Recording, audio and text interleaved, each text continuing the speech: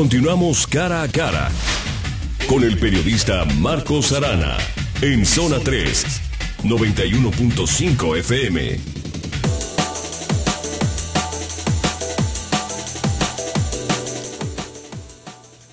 Carlos Manuel, yo te pregunto, ¿es posible manipular las elecciones en este momento? Y te puse ejemplos concretos y te menciono dos.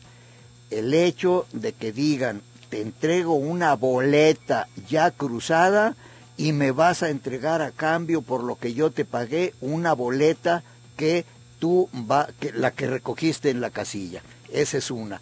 Y la otra, el crayón, la pluma, el lápiz, lo que sea, con que se cruza la, la boleta. A ver, dinos. Son dos cosas importantes. Mira, eh, definitivamente el papel con el que se fabrican las boletas electorales en nuestro país para la elección federal es un papel especial, con una fórmula especial, hecho eh, específicamente para el Instituto Nacional Electoral, con toda una serie de medidas de seguridad, Ahí se hace una gran inversión en este papel, pero forma parte de los candados de seguridad y bueno, forma parte de los costos de nuestros procesos electorales y por eso son elevados por la desconfianza que existe, hay que decirlo. Y es un papel, si ustedes se fijan, cuando vayan a votar, eh, casi es prácticamente de la misma calidad que de los billetes de, de circulación en nuestra economía, ¿no?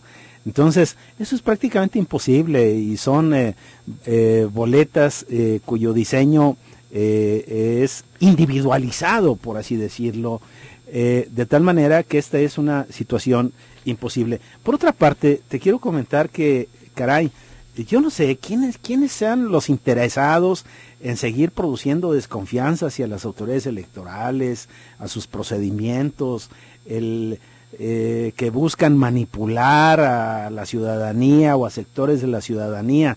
Por ejemplo, yo he visto en las redes sociales ahora que hablan de que eh, cuando juegas a votar, llévate un crayón, este, porque el lápiz que utilizan ahí no sirve, se borra. Bueno, yo, yo te quiero decir que el Instituto Nacional Electoral, eh, como parte de su desarrollo tecnológico, ha dejado atrás aquellos crayones que utilizamos para votar eh, porque no eran convenientes, porque hay lugares en nuestro país en donde hace un, calor terrible que derrite la cera. Eh, puedo mencionar Tabasco, Chihuahua, Ojinaga, Chiapas. Este, Chiapas. Entonces, este, estos crayones propiciaban luego dificultades, luego contaminaban con eh, la cera otras boletas y a la hora del escrutinio y cómputo pues eran señaladas como boletas que debían que debían nulificarse porque ahí estaba votado doble, miren, ahí está una mancha del crayón. Entonces se decidió eh, diseñar un marcador, se llama marcador. Es un, no es el grafito, como el de los lápices, sino que es otro material con una mayor consistencia y que no tiene este problema que representaban los crayones. Ahora te quiero decir también otra cosa. Eh, no hagan caso de llevar un, ahí van a tener en la casilla todos los elementos, no hagan caso de estas, son verdaderas tonterías. Si alguien llevara su propia pluma, ¿se, ¿es motivo de anular el voto? Ah. Por supuesto que no. Por supuesto que sería argumentable la validez de ese voto. Va a ser muy discutible entre los partidos porque ahí eh, pues luego procuran restarle votos al otro y si te logro nulificar, entonces va a ser una controversia. Entonces, ciudadanas, ciudadanos que nos escuchen, no propicien controversias, no les eh, hagan más, eh, eh, más compleja la tarea a sus vecinos, que son los presidentes de las mesas directivas de Casilla, a ese joven universitario que diario usted lo ve salir a las seis y media de la mañana a irse a la escuela, a esta jovencita que sale muy temprano a trabajar, a su tío, a su primo, a su sobrino, quienes van a estar en las mesas directivas de casilla son ciudadanos como, como todos, ciudadanos estándar, pero son ellos los que ese día tendrán bajo su control la jornada electoral, porque el presidente de la mesa directiva de Casilla, te quiero decir, es uno de los funcionarios más importantes del país y tiene atribuciones para establecer y mantener el orden ahí en la casilla y las autoridades estarán ahí a su disposición para que cumpla, cumpla las, eh, sus indicaciones si se presentan Ejemplifica una decisión así extrema a la que tendría derecho el presidente de la casilla. Bueno, por ejemplo, eh, eh, alguien que pretenda obstaculizar el desarrollo de la jornada electoral, que esté ahí fastidiando, que esté alterando el orden, que impida el desarrollo de la jornada electoral, el presidente de la mesa directiva tiene facultades establecidas por la ley para pedir la intervención de la fuerza pública y retirar a un individuo de esta, de esta naturaleza. Este es uno de los ejemplos que puedo poner. Tiene la autoridad, por ejemplo, si se presenta gente armada, de pedirle, claro, con todo comedimiento, que este, eh, acuda a votar, pero sin la aportación de arma. Y por eso los policías son muy, muy responsables en ese, en ese sentido. Eh, alguna gente que llegue en un estado de ebriedad y, este, y ocasione desorden ahí, pues también podrá ser retirado.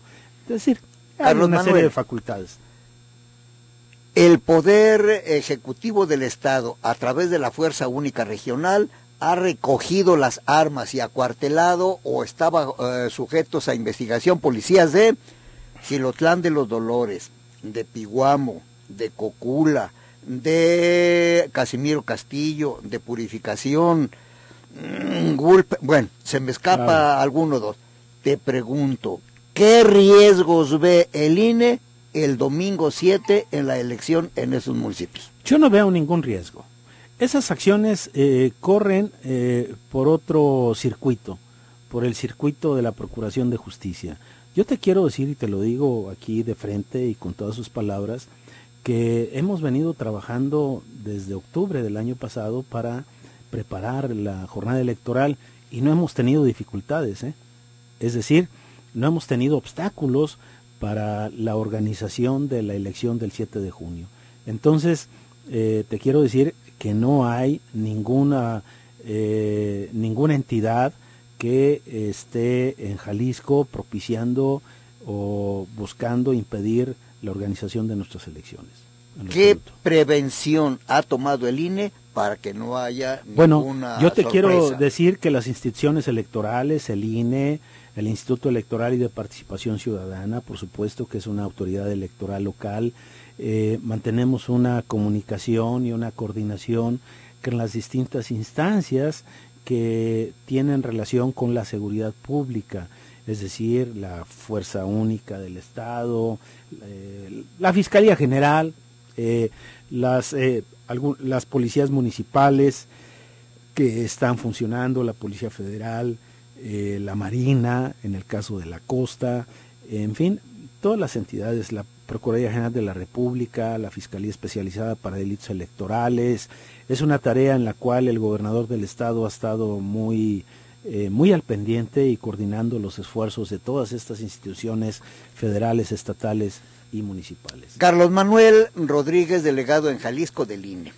Eh, pues cuando has estado aquí y hemos platicado sobre este asunto tan bonito de las elecciones, yo pues te he puesto en la tesitura de que seas profeta, hombre. Ya sé que, que no tienes bola de cristal ni cosas de esas, pero la gente pide este hombre algún pronóstico, no de resultados a favor de no, sino por ejemplo porcentaje de electores, en fin, danos lo que a tu juicio va a suceder el 7 de junio en cuestión de votantes. Son 5.513.000 los que están en la lista nominal.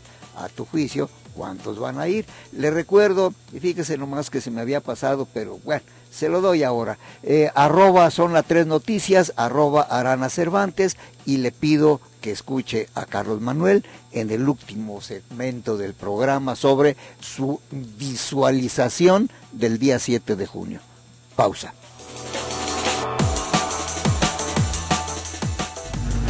Dale like a nuestro Facebook. Zona 3 Noticias. Comunicación que emociona, convence e inspira. Inspira. Zona 3, 91.5 FM.